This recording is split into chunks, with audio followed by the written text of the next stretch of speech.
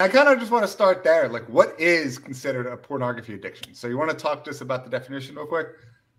Yeah, that's a great that's a great way to to, to start the conversation here, Anthony. And uh, you know, when I think when it comes to definitions and terms, a lot of people say things without really having any substance of what they're actually saying. So you had mentioned both in our our, our, our, our pre-intro and then even in the intro here is like you've kind of heard both sides of this is it a thing is it not a thing for me i go to the experts when i'm looking for definitions so i had the honor of having dr anna lembke who is the uh, head of stanford's addiction department for the last 20 plus years she's author the, the author of the best-selling book dopamine nation so this is a woman that has spent her life uh, both researching and working in the field. So she's a psychiatrist. So she sees patients still to this day um, in sex addiction and specifically pornography addiction. And I asked her, I said, Anna, what is your definition of addiction? And that's the one that I've defaulted to with my understanding, and it's what I try to shape all of our work around. Dr. Anna Lembke defines addiction as the continued or repeated use of substance and or behavior despite negative consequences to self and or others. So repeated use of substance and or behavior. So pornography addiction would be the continued use of pornography despite there being negative consequences to yourself and or others in your life. Interesting. So this I'm just going to kind of relate this to I think alcohol because that's the easiest for a lot of people to understand of what is alcoholism compared to what is casually drinking.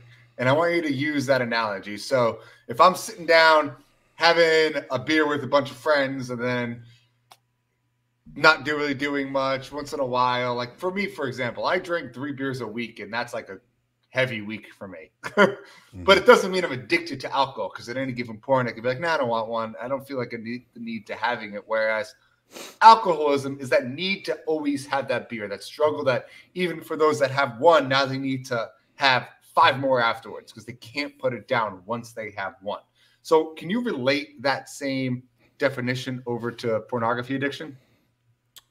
Uh, well, no, well, because I, I, would look at it a whole lot differently, right? I think if that person that drinks three beers, you know, once a week or once a month, spirals out of control in that one day, and it creates a destructive pattern within their life uh, that has negative consequences to either themselves and or others, then that still would be maybe not in the in the classical terms an alcoholic but in my eyes if there's something that you're doing that is producing negative outcomes or negative consequences in your life so you may only look at pornography once every six months but if at that point it causes a massive blow up argument in your relationship if it causes uh, guilt and shame even within you the like it's and I think that's where a lot of this is coming is like the internal consequences that men are struggling with. It's like, yeah, I know every guy is doing this, but when I seek it out, I don't feel good about what I'm doing. Are you are, are, are you sitting there while you're drinking? Are you enjoying the conversation, which a lot of people do? So I don't think it's a matter of how frequent or how often. It's what is the impact. It's what's the outcome of the behavior substance that you're involving in. So if it's causing, just want to make sure I, I hear you right. If it's causing a negative type of consequence in your life, then it's considered an addiction, regardless about how often it's done.